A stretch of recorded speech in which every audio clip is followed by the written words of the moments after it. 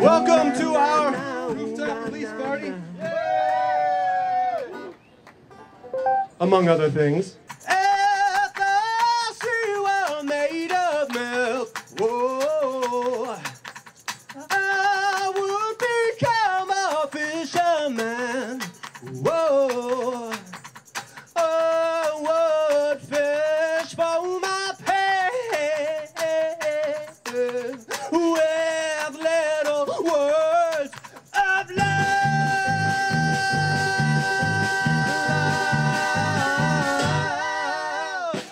Is our second album.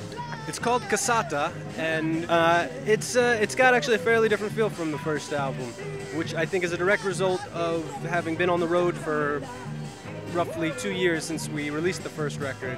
We had more fun during our like upbeat, raucous, uh, fist pumping, you know, foot stomping numbers. So it kind of we naturally began arranging the new songs like that, and because that way when we got to play the show at night, we like could really get excited about it and be like, yeah, oh, we got this new song, and it's like, uh, you know, we're killing them with it, we're killing them.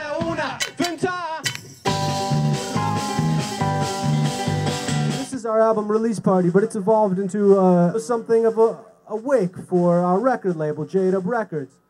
But I don't want this to be a sad occasion. This should be a joyous occasion.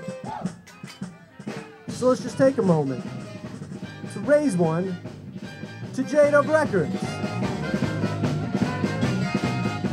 I founded J-Dub in 2002 when I was a senior at NYU with a musician named Ben Hesse. And really the idea was to take high quality, unique Jewish music and Jewish culture and bring it into the mainstream. So outside of uh, exclusively Jewish institutions and into rock clubs, music venues around the country.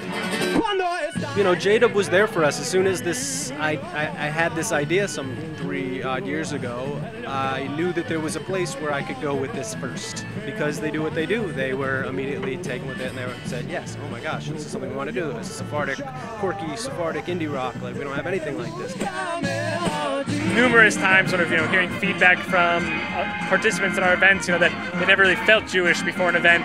That it was the only kind of Jewish experience they'd ever had that didn't felt coercive or like their grandmother's kind of, you know, Judaism. Uh, those moments are really. Um, really, really special. And just the opportunity to work with so, so many great musicians and artists creating new, vibrant Jewish culture uh, and to see people connect with it uh, has been really special.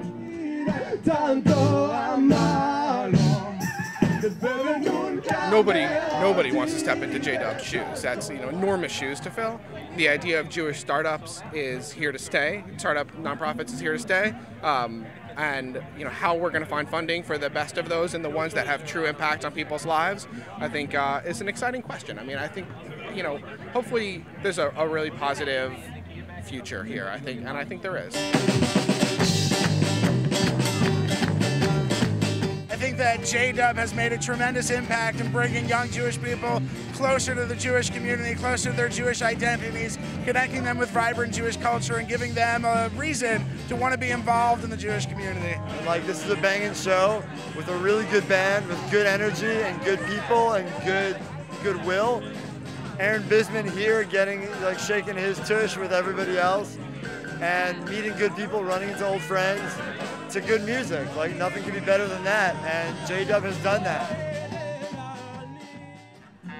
You know, unfortunately, I, I, can't. We can't take responsibility for everything. And while we're very confident that our artists will continue to make their great work, uh, there are no guarantees. And our closing is not, uh, you know, because we think everything that needs to be done has been done in terms of making space for Jewish culture in the mainstream and connecting young Jews who don't do other Jewish things or aren't involved in other Jewish organizations uh, to give them vibrant connections to Judaism.